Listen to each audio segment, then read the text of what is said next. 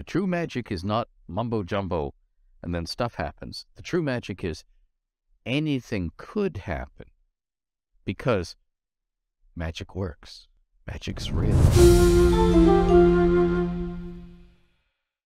Howdy, folks. This is Ivan with Many Realms, and on this episode of Realms Lore, I got to sit down with Ed and talk all about how magic works in the Forgotten Realms, which, as you know, is Dungeons & Dragons' all-time most successful campaign setting. We talk all about those with the gift, the ability to manipulate Mystra's weave, and no, I'm not talking about a super fancy hairpiece. What I am talking about is a really, really complicated game of cat's cradle that allows you to throw fireballs. But as I'm sure you know, Ed is going to be able to explain that much better than I could, so I'm going to go ahead and pass it on over to him. But before I do, I just want to remind everybody to head on over to patreon.com slash edgreenwood to find extended versions of all of these talks, plus regular Realms Lore drops narrated by the sage himself, Discord benefits, merch, and tons of other really cool stuff. But now, magic. I have uh, created something like 45 or 50 settings, or co-created, and um, many of them have had different magic systems. So yeah, there are different ways to do magic.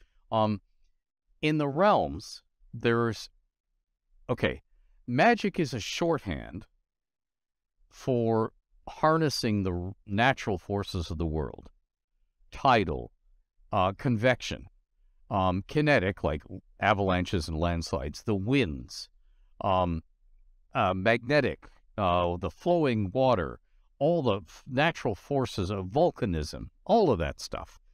Uh, but but magic is a way of harnessing some of that energy and getting predictable or semi-predictable results out of it, as in it's not just taking it and flinging it as raw power, although spellfire is practically that.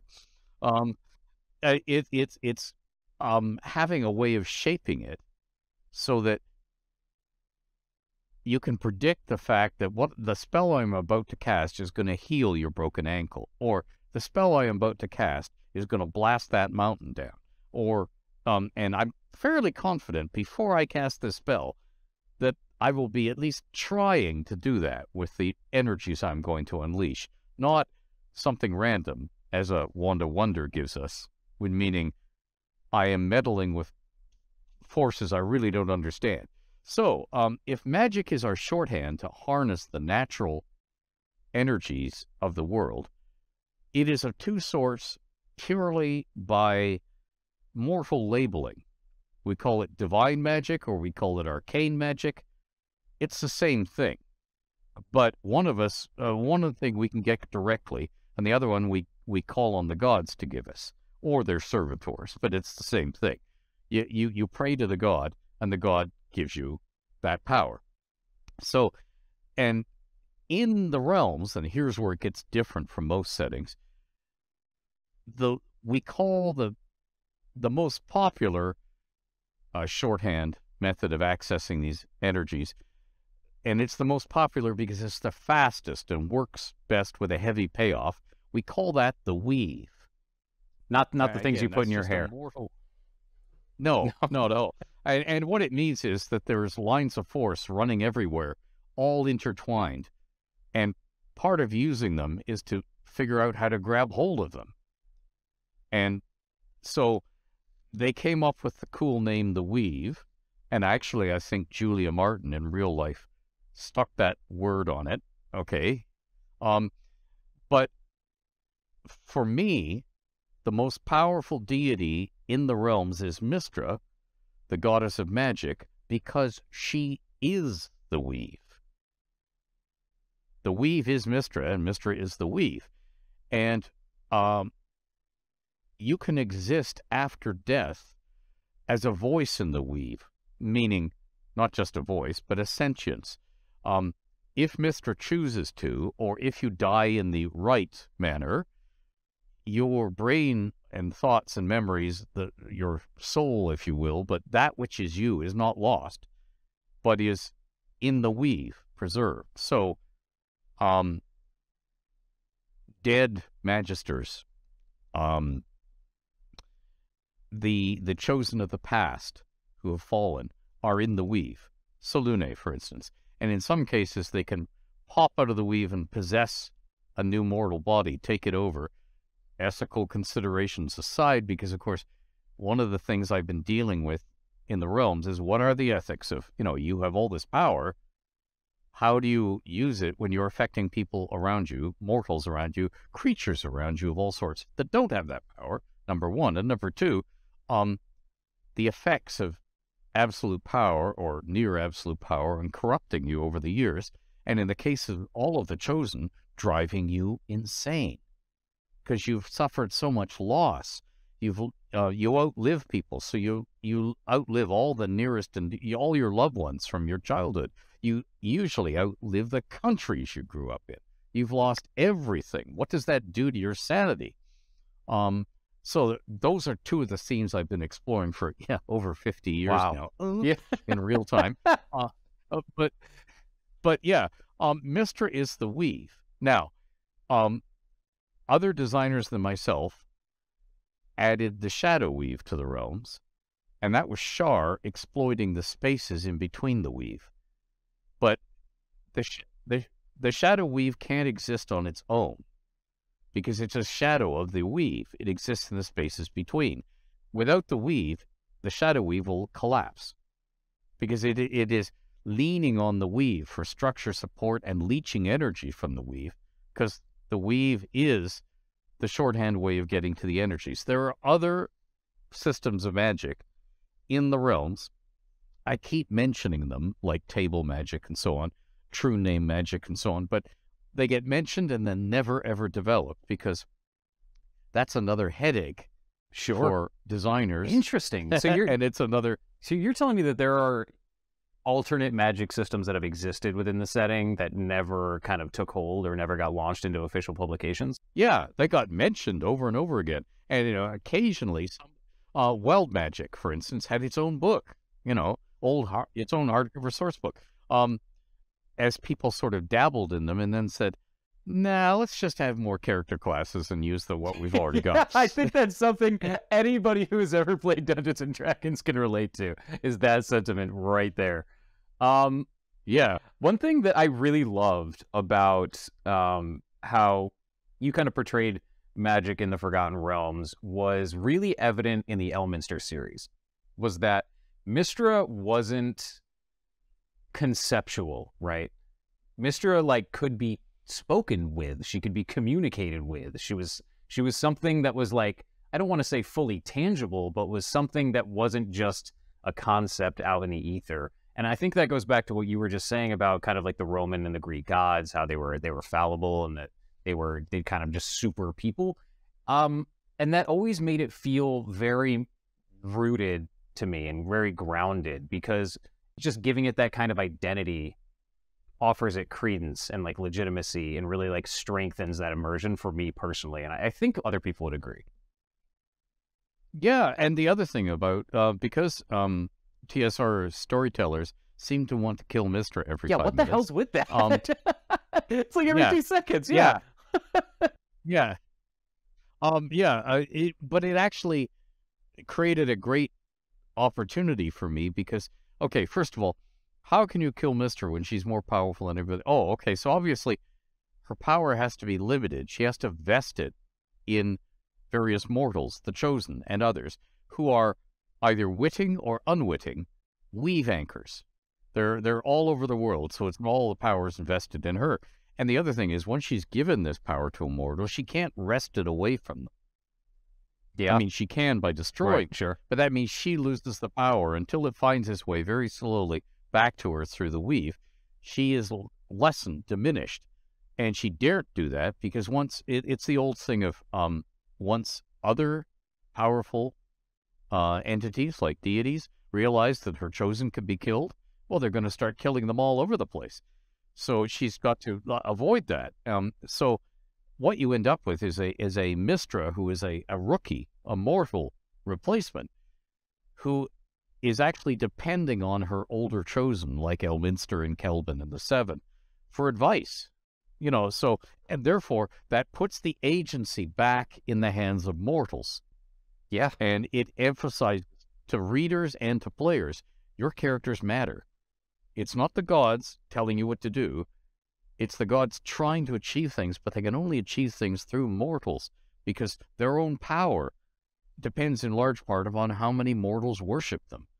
So mortals are important, but mortals are just as fallible, in fact, more so than the gods, and mortals are just as ignorant of what's going on and the consequences of what they're doing as they do it or before they do it as the gods.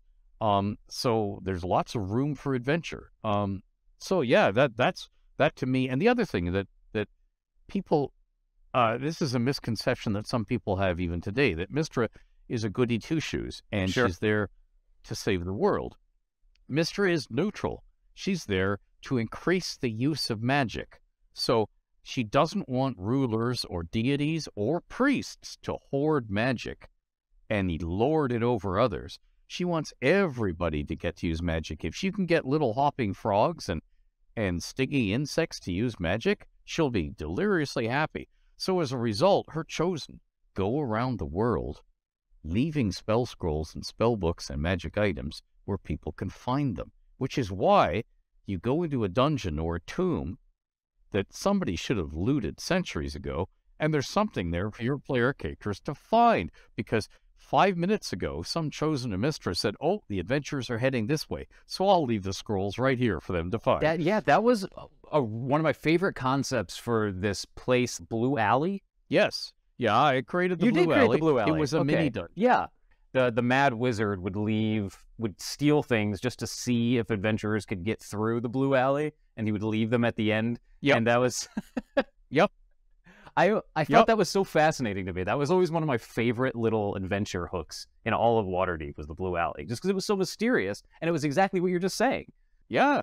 Oh, I had great fun in the Blue Alley. Uh, I had I had uh, undead who were reduced to skeletal form, Sure. wearing ball gowns and and you know dancing with each other.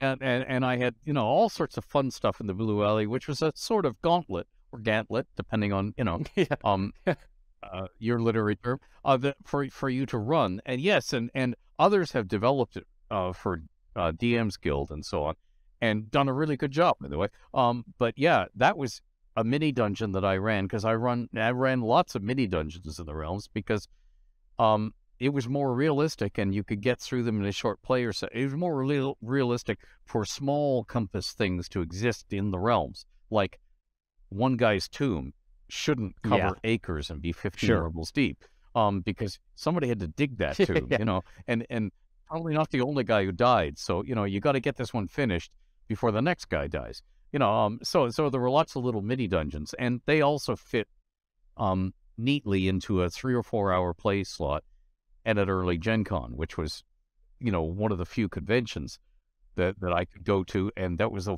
one of the few opportunities for people to play together with other D&D players they didn't normally play with.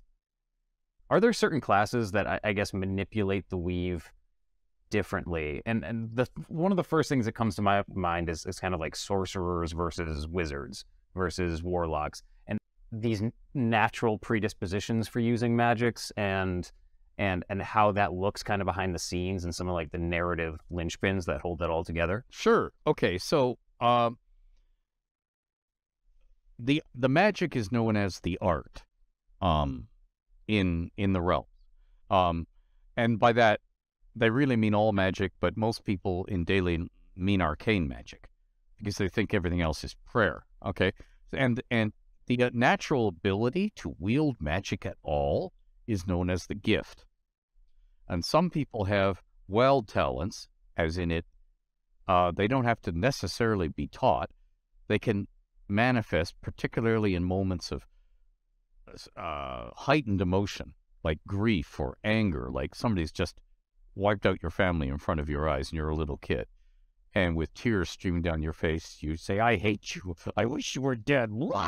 And then when you do that, out of your fingertips or out of your eyes shoots magic and you fry some some um, unsuspecting raider and then all the rest of the raiders kill you because oh my goodness you know uh, or, you kill them all because you just go nuts you know um and then everybody around you says oh, he has the Wow. gift kill him No, Yeah. uh, and that's I'm I'm following a theme here. if- Yeah, yeah. But if they if you flee into the woods before they can do that, then you're the, you could become a sorcerer because you learn. Then all I have to worry about is Mystra turning Yeah, you into yeah. a woman against your will. Ah, well, there's that. Yeah, yeah. No, no, no, no. Uh, but but but no, a- sorcerer is somebody who's learned some control over their natural gift, their wild talent. Um, now there are others. Uh, um, one that got read de-emphasized in the game and then changed.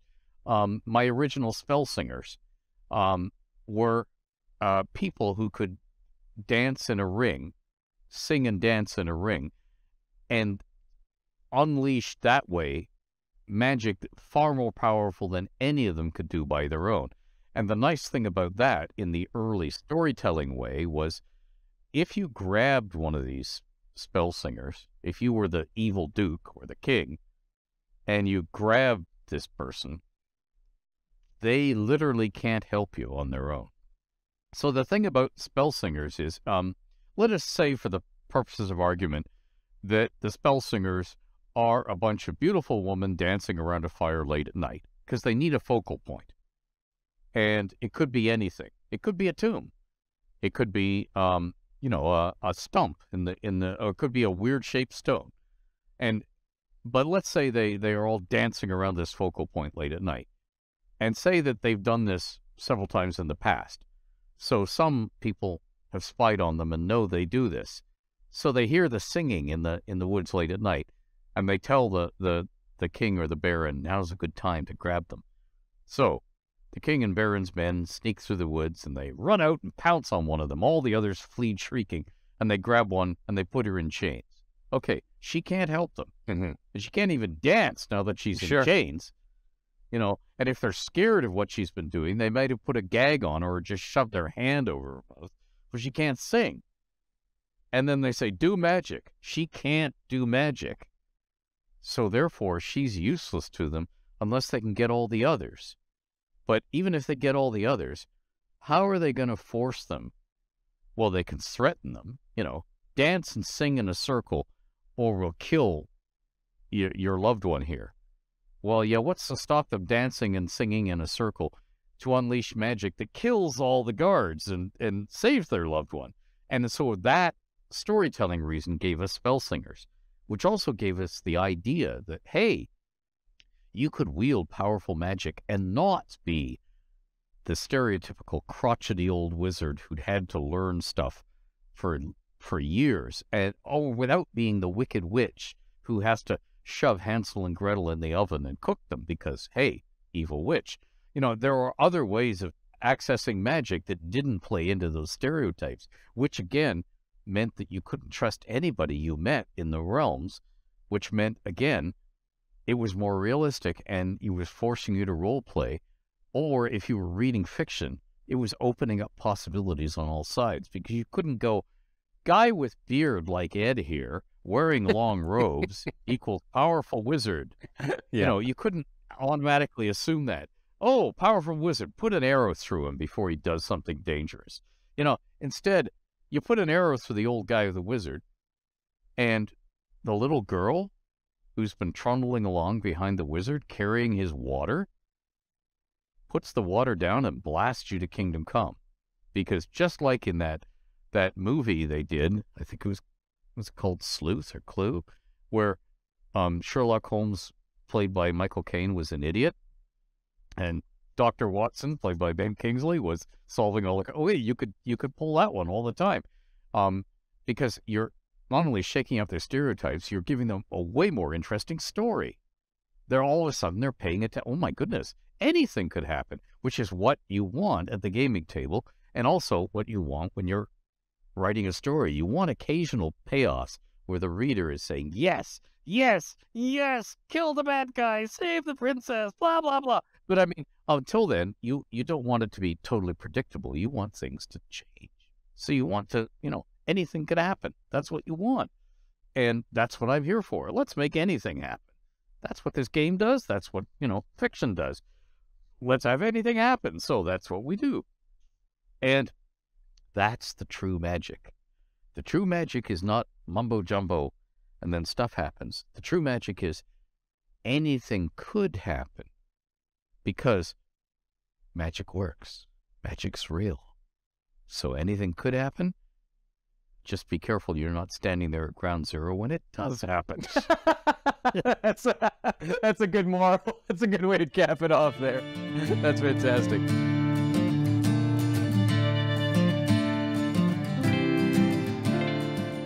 Hey, it looks like you made it to the end of the video. Awesome. Thank you so much for sticking with us. If you liked what Ed had to say, be sure to hit the like button. Uh, if you want to see more videos like this, go ahead and subscribe, and then definitely hit the bell icon if you want to know when more videos like this are coming out, because it's going to start happening a lot more frequently. Uh, don't forget to go to patreon.com slash edgreenwood to see extended versions of all of these talks, plus like a ton more.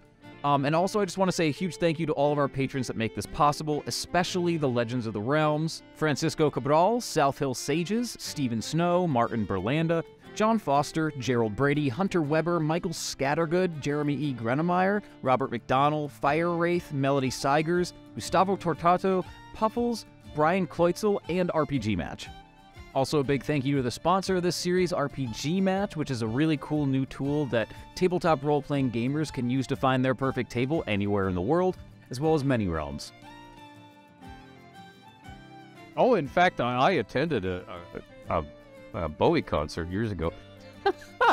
there were guys in the audience who, who were in, in full armor with swords, and he's yelling. That's a great story. All right, you made it to the end of the video. The